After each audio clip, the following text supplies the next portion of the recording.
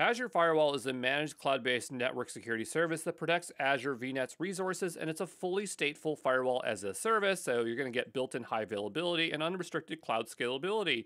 And what you can do is uh, essentially create, enforce, and log application network connectivity policies across subscription and virtual networks.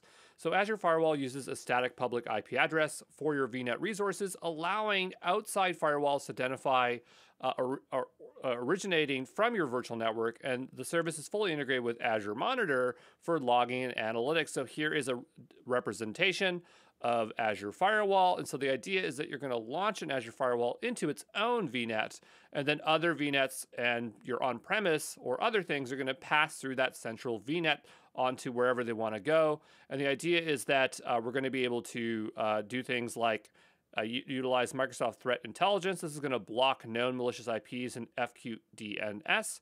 That stands for fully qualified domain names.